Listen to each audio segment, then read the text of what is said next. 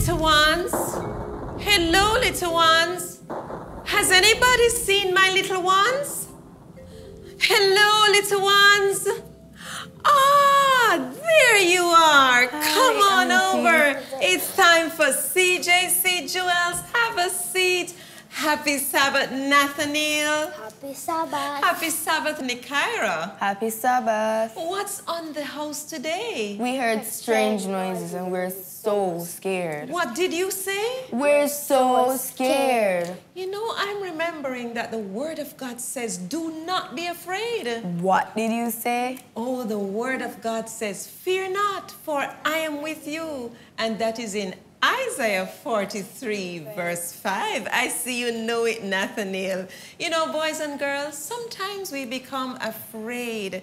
Please ask mommy and daddy to help you write it in the chat. That thing that makes you so very afraid sometimes. Nathaniel, what makes you afraid sometimes? Lizards and cockroaches. Oh, me too. Kyra, what makes you afraid sometimes? I'm afraid of worms. I can understand that she's like a real girl, right? okay, now what are you afraid of? Remember to put the picture in the chat or to write it. Hmm. Can anybody guess what makes Auntie Lisette afraid?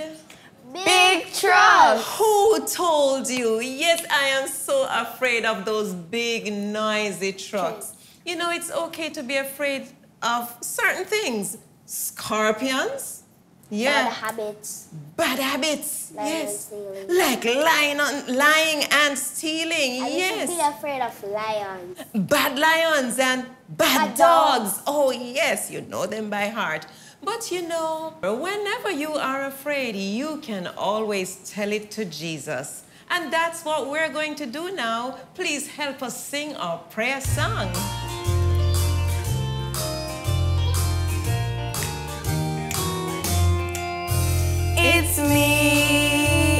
It's me, oh Lord, standing in the need of prayer. It's me, it's me, it's me, oh Lord, standing in the need of prayer. It's not my mother, not my father, but it's me, oh Lord, standing in the need of prayer. It's not my mother, not my father, but it's me, oh Lord, standing in the need of prayer.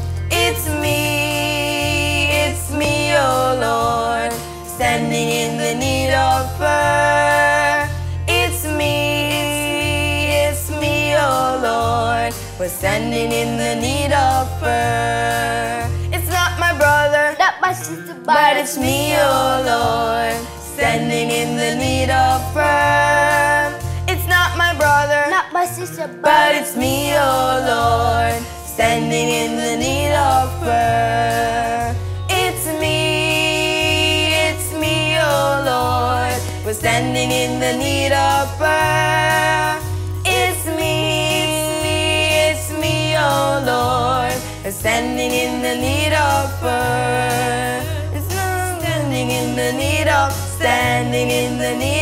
Standing in the need of prayer. Of prayer. Boys and girls, remember, when you are afraid, tell it to Jesus. And now it's time for Jewel Showcase! Shine for Jesus, little ones.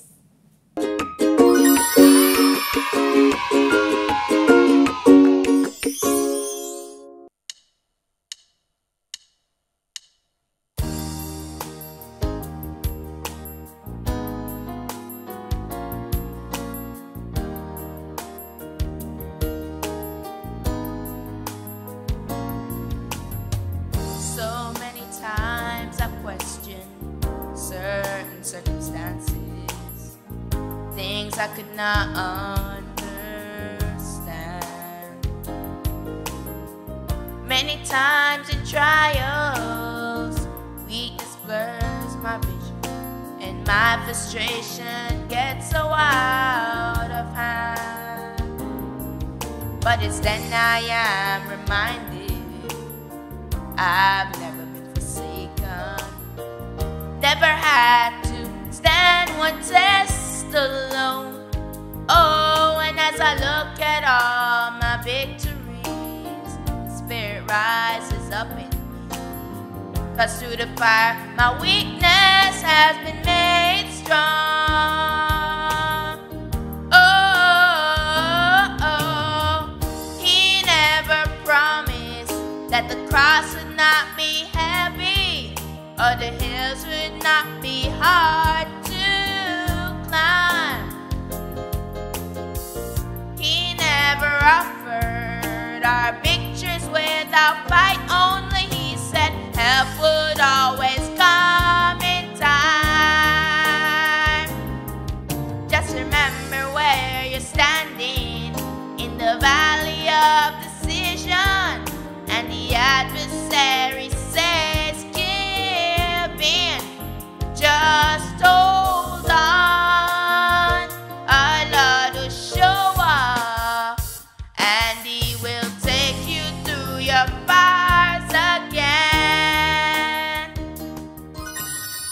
Philippians 4, verse 13. I can do all things through Christ who strengthened me.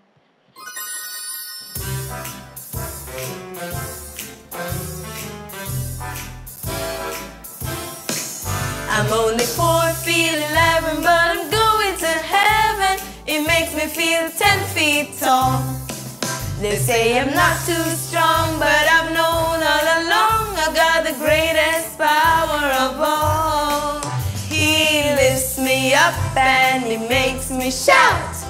Come to Jesus, let me tell you all about him. Only four feet eleven, but I'm going to heaven. It makes me feel ten feet tall. I'm only four feet eleven, but I'm going to heaven. It makes me feel ten feet tall. They say I'm not too strong, but I've known all along I got the greatest power and he makes me shout. Come to Jesus, let me tell you all about him. I'm only four feet eleven, but I'm going to heaven. It makes me feel ten feet tall. I'm only four feet eleven, but I'm going to heaven. It makes me feel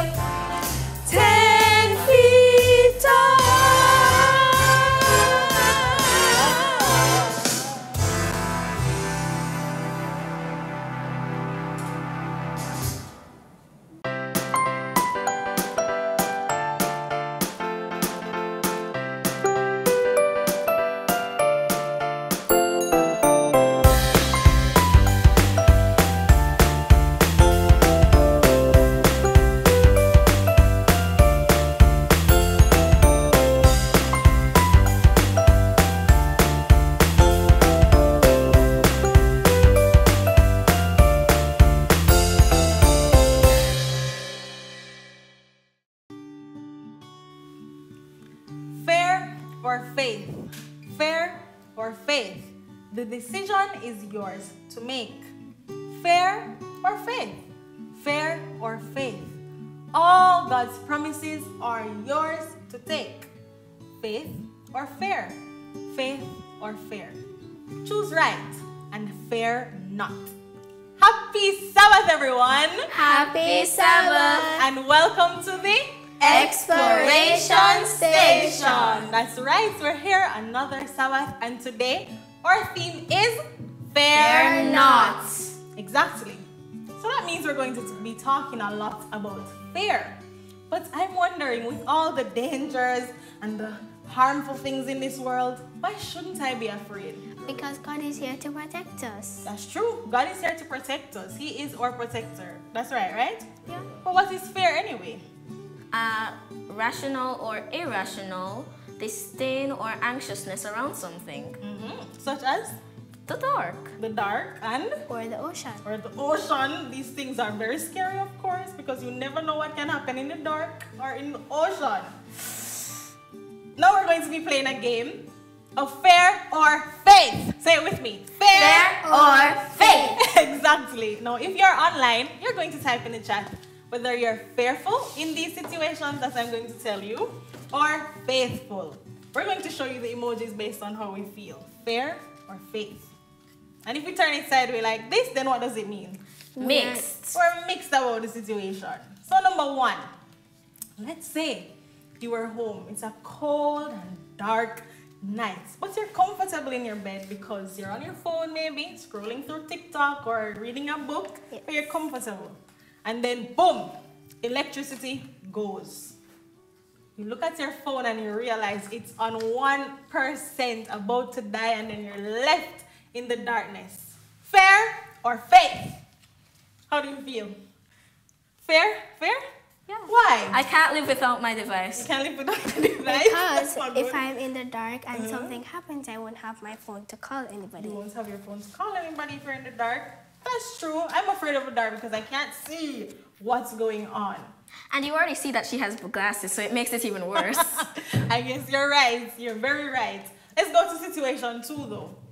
Say you walk into a supermarket and there are thousands and thousands of people and many aisles. And for one second you look away, and when you look back, your mom is gone. You're all by yourself with thousands of people. Fair or faith?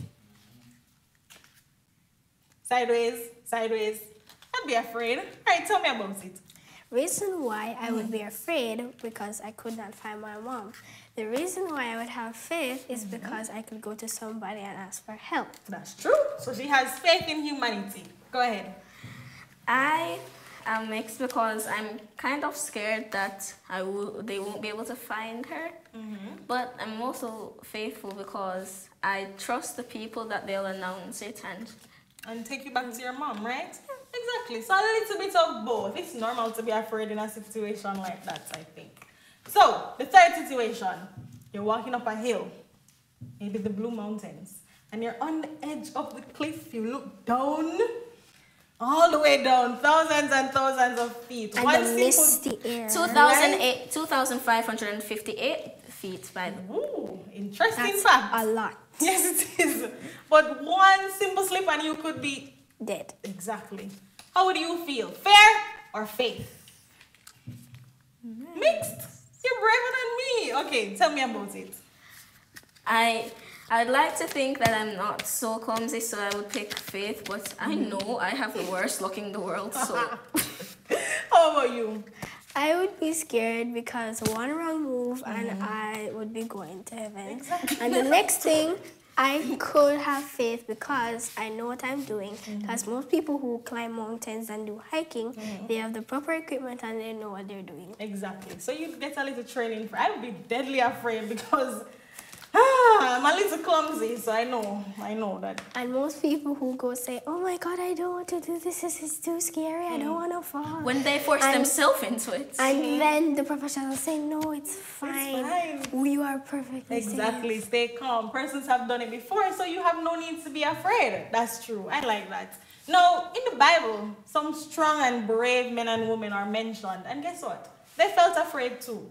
So tell me, do you know anybody in the Bible that probably felt afraid? Moses, Moses. Moses. Moses. Anybody else? Jonah, Jonah, perhaps. David. They're human. So I'm, I'm sure that they would feel afraid. I'm going to tell you about Moses though. One day Moses was walking and he saw a burning bush, which is very strange. It's not normal to just see a bush burning and not going up in ashes. So he was curious and he went over to it and it was God that spoke to him and gave him some instructions on what he wanted him to do. But Moses had a fear of public speaking because he had a little stutter. Oh no. So he started to ask to ask all these questions. Why me, God? Why me? Are you sure? What if I speak and I stutter? What if, What if I trip on a rock and I fall and they laugh at me? eh, what if they laugh? and he has this idea in his head that if something goes wrong, people are going to laugh at him. Exactly. He is afraid that if something goes wrong, they're gonna laugh. And that's normal. Or maybe an accident could happen. Exactly, an accident. But eventually he pushed through his fear and turned it into faith, leading the people out of Egypt. So today we're going to be like Moses and turn our fears into faith. In fact, for our exploration activity, we're going to be tossing our fears away. We have some papers here, and we're going to be writing our fears on them, stapling them to socks, and tossing them in the bin. Are you excited? It's not really a bin, it's more of a basket. I guess. So we're gonna be throwing them out.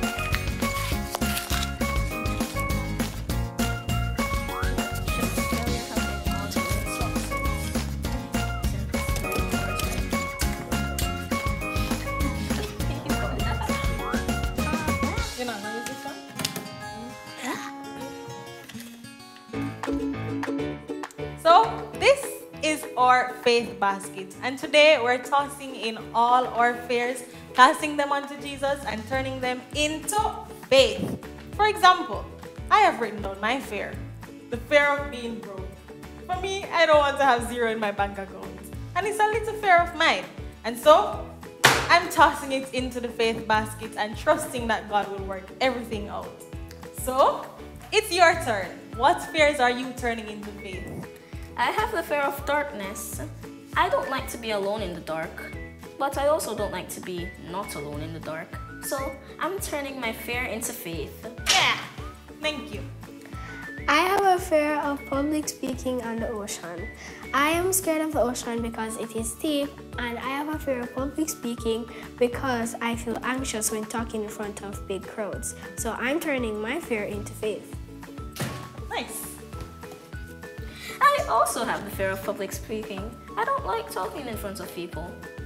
I'm What can turning I- my fear into faith. Ah, that's right. But can I say you're both doing well with the public speaking today? I have a fear of heights and spiders. I have a fear of heights because most places or buildings are really high and you can fall off if you're not being careful.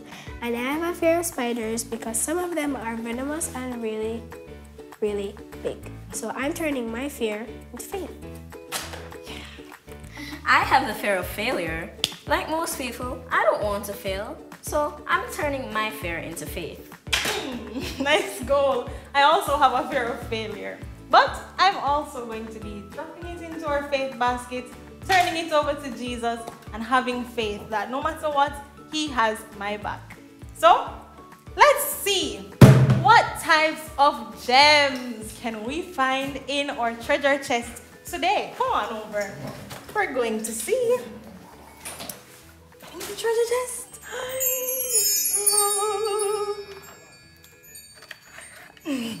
Ah, of course you take the shortest one. And I'll take this one. Who's going first? Sure. Psalms 56, verse 3 When I am afraid, I put my trust in you. In God, whose word I praise, in God I trust, and I am not afraid. Amen. No, that sounds like a gem for someone who's feeling afraid. Mine is from John 14, verse 27. And it says, Peace I leave with you. My peace I give to you. I do not give to you as the world gives. Do not let your hearts be troubled and do not be afraid. My, my gem is Joshua 1, verse 9. Have I not commanded you? Be strong and courageous. Do not be afraid. Do not, do not be discouraged, for the Lord your God will be with you whenever you go. Amen. Now, these are some precious gems for people who are afraid. And guess what? We have a song for you as well that can encourage you. No matter where you go, know that Jesus is with you, and there's no reason to be afraid. Anywhere with Jesus, I can safely go. Anywhere He leads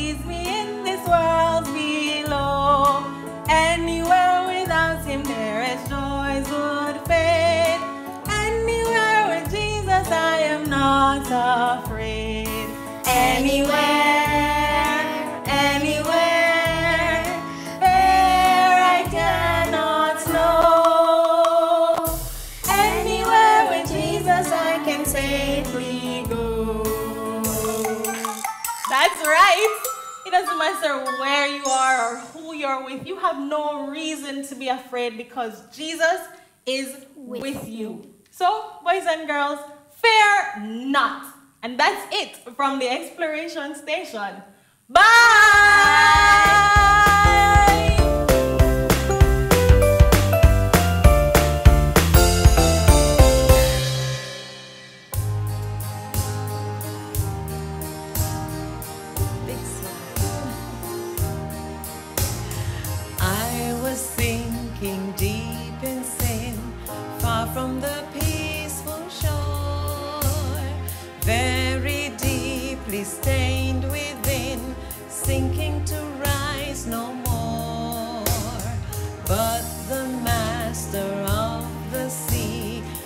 my despairing cry. From the waters lifted me, now safe am I. Love lifted me.